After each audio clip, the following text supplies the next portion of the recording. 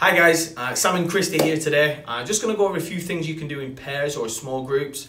Obviously the regulations have been lifted a little bit so you guys are ready to go and do some dryland training or to go and play on the, the fields themselves.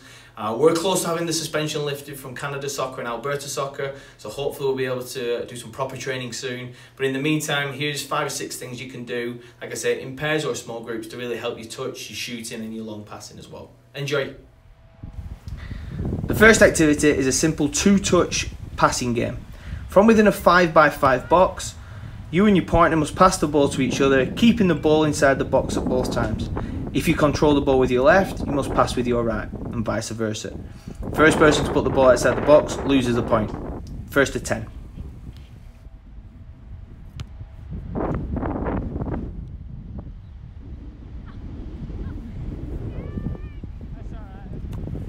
The second activity is simple hit the crossbar. So for within a box, you and your partner have three or four goals each, trying to hit the crossbar as many times as possible. Move the box wherever you like to add different variations to the shot. First to five wins. As a progression from hitting the crossbar, now add a jersey or a penny of some description to the crossbar and try and hit that. You'll find this is much much harder and will take a lot of patience to make sure you hit it try and make the jersey as baggy as possible so it actually hangs into the goal, giving yourself a realistic target like you would a free kick.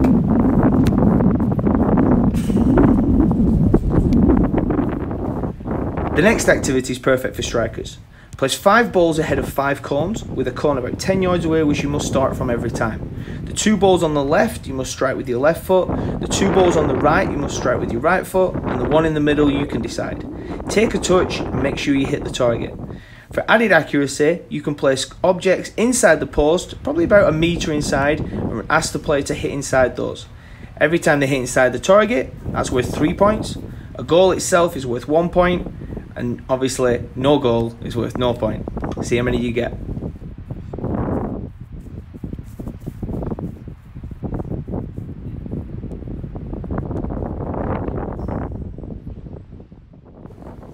The next activity is long range shooting, ideally for those outside the edge of the box.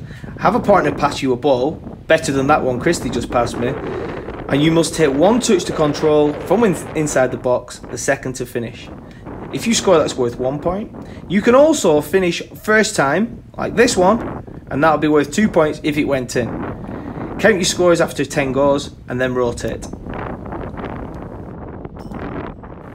As a progression, now ask your partner to chip the ball into the box rather than pass.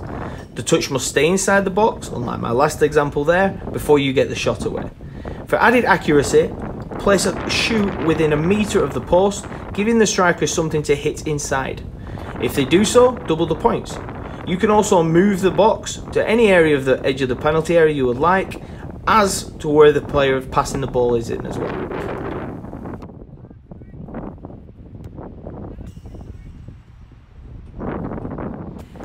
And to finish, everyone's favourite activity, trying to hit the crossbar from halfway line.